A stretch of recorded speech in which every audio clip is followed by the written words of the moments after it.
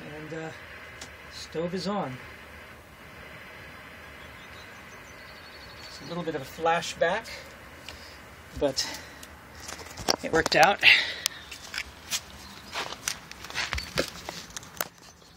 It's hard to see the hydrogen flame. Oops. And it went out for some reason. Well, that was quick. Okay, it's July 7th at 8:20 in the evening here in Germany, and we're going to try to see how much cooking we can do from a little bit of hydrogen. The limitation is going to be the storage space in here. It's only a few liters of storage, and so we'll have to change and later on use this 100 liter thing that we were storing biogas in, uh, which should give us more time. But for right now, just because of the way it's set up, we're just going to check out the stove with the hydrogen. And what we're going to do is we're going to take this pill bottle, and it was a folic acid pill bottle, and we're going to put some aluminum in it. We did previous experiments in larger containers, but as you can see here, um, if you can tell, it created a crack on the bottom because it gets quite hot and caustic, and that didn't work. We'd uh, used several different plastic bottles, and we found that the pill bottle was the only one that was able to stand the heat and the corrosion so far. Uh, and it doesn't need to be big. So we're going to take these tabs. I get these um, when I go to the uh, on an airplane. I ask the stewardesses if they will kindly take these from the beverage containers after the beverage service, and they're always delighted to do so. So I'm going to put one, two, three, and 10. I'm going to put 10 of those in there. and then I'm going to take some Drano, Denkmittelrohrreiniger, that's sodium hydroxide solution. And I'm going to pour that in on top. And you should see that it starts to bubble eventually. And that bubbling is the production of hydrogen. First, it's going to get rid of the oxide coating on the aluminum, and then it's going to start to more vigorously bubble. At which point, this is going to become quite hot. So, now it's beginning to foam up. And this goes a lot quicker when you use aluminum foil. Now I've sealed my bottle, just screwed it on there. And I'm going to put it in a bath of cold water because it does get very hot once it starts. And now we're seeing the hydrogen bubbles begin to be produced from that chemical reaction. The reaction is that sodium hydroxide, water, and aluminum produce sodium aluminate plus hydrogen gas and you're seeing the hydrogen gas bubbling up there from here. And so what we'll do now is we're just going to leave this and let it sit for a while until we've consumed all of the sodium hydroxide. Then we may need to open it and put a little more in because it seems that the sodium hydroxide gets used up first until all the aluminum has dissolved into sodium aluminate. And so you could say that sodium hydroxide is the limiting factor in this reaction.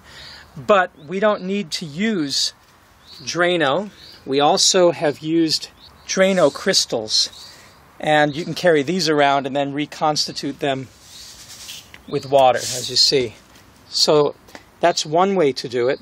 Another way to induce the reaction is not to use sodium hydroxide at all, but to use potassium hydroxide, which you can get from wood ashes.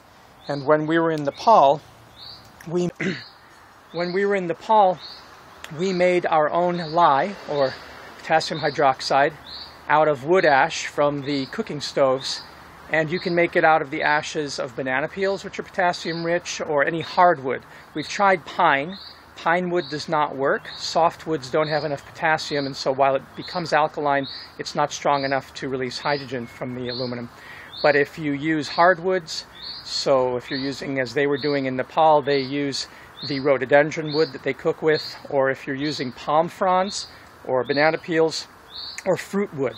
So you don't even have to cut any trees down to do this. You can do trimmings of, uh, of fruit trees, and you can use also the pits of fruits, anything that has potassium.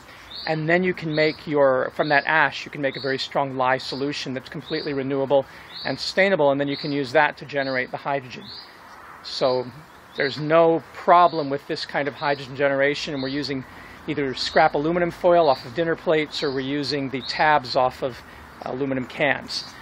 Um, by the way, I'm wearing these goggles because uh, lye and sodium hydroxide, potassium hydroxide are very caustic and they can blind you.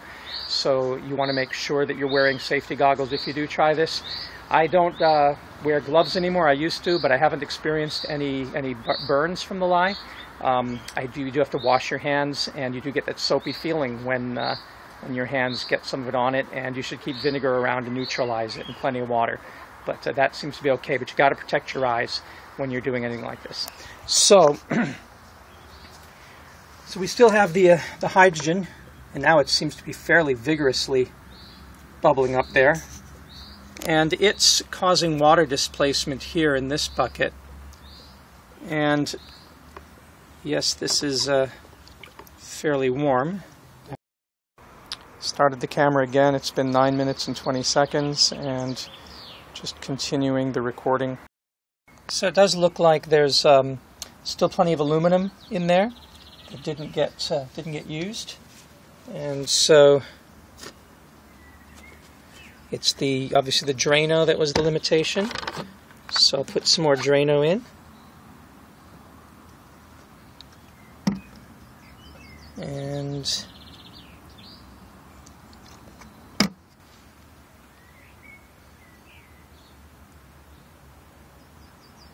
Uh, now the reaction begins, and we see it starts to accelerate.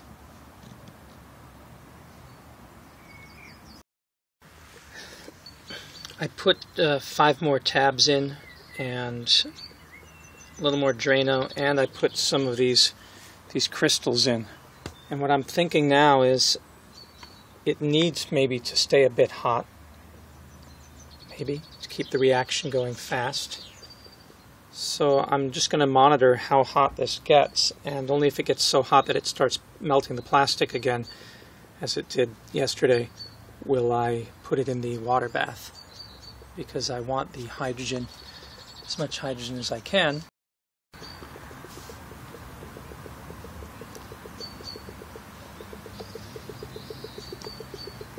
certainly going in a lot faster now. We hear it going blip, blip, blip, blip, blip, blip, blip, blip, blip, blip, blip, blip.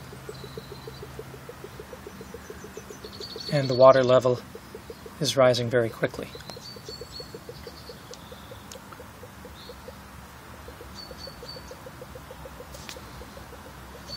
The bottle, meanwhile, is really hot to touch, so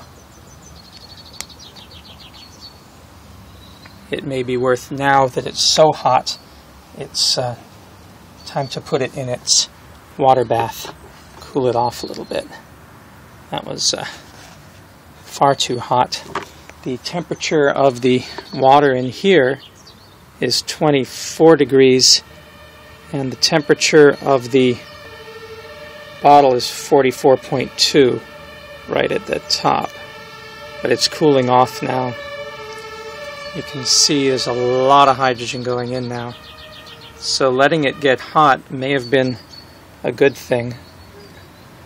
Now the water has cooled it off and water that was 24 is now 26 in the bucket and the bottle's gone down to 29. So 27.6. So it definitely heats up the water. It's a strongly exothermic reaction.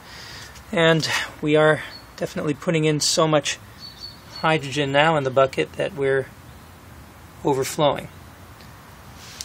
So, looks like we've, um, got a fairly good reaction going here. And so that probably means that the bucket is full, and so we might as well start our test to see how much hydrogen we can cook with here. So once again, the temperature of this now is 20 degrees. There it uh, stove is on. It's a little bit of a flashback, but it worked out.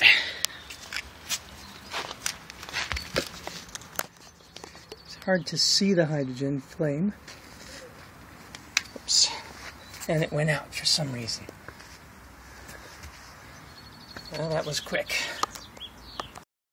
Now it looks like that used up all the hydrogen just in that short burn because uh, a lot of it probably was lost in the initial turning on here and uh, that's where we got our flashback around here. And then it burned because there's all those different holes. When we were doing our test before and we got over a minute we were using a single hole. And now we have all these holes. It's just this one hole here. So that just shows you that we'd need more hydrogen than just what's in this little pink bucket to get a substantial burn for this. During the time that it was on, this did go from 20 degrees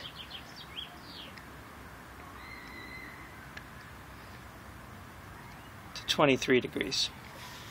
Not much.